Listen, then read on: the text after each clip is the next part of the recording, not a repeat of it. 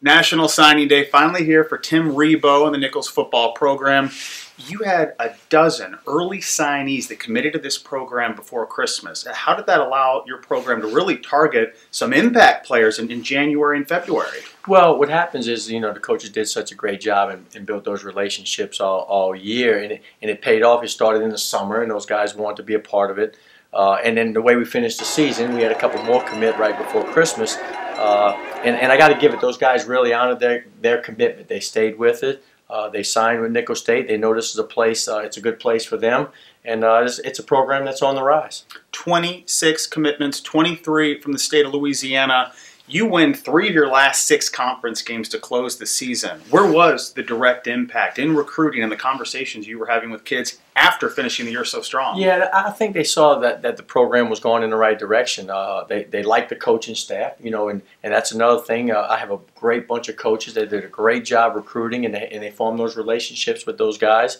Uh, and then and then everybody stayed. You know, there was no turnover in the staff, which is, is another big plus. You have to be plugged in to the high school recruiting scene. It can't just be call up a coach, try to make a, an impression when you need a player this coaching staff, they all have a long history in the river parishes, in the state of Louisiana. When you look at, at the last few months and how you close strong, how you get 14 kids to commit in the last two months, that's all the relationships that these assistant coaches have been able to create. You know, we, we were talking about it as a staff. You know, uh, last year when we got in here, we really had just a month to recruit, and we thought we put together a pretty good class. You know, I don't know if you do that nowadays uh, without having this year long relationship that we had that the guys went out.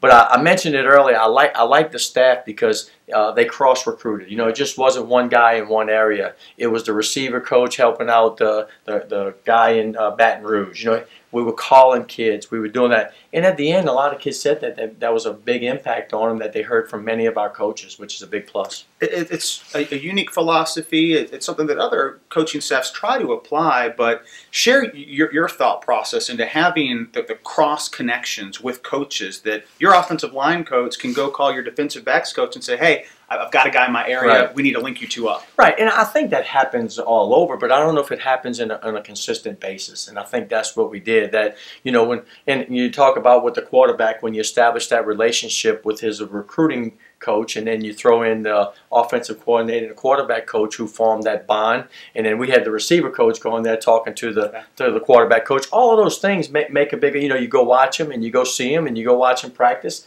and uh, I, I, think those kids remember that, and that that helped us out in the long run. Just can't wait to get some of these guys on the field. It'll, it'll be here early. I'm, I'm sure just getting that opportunity, and especially with, with how intense the interest has been in this program, no better opportunity than now to get spring ball started and, and get some of those position battles underway early in the year. Yeah, we talked about, you know, uh, when, when, we met when the guys came back, you know, the past is the past. Last year's yeah. team, that's over. It's time for us to move forward. So, uh, time for guys to make their own name now. And, uh, and I'll tell you, we got some guys stepping up ready to do that. Great day to be a Colonel. Tim Rebowe, Nicholls Football, and this is Colonel's All Access.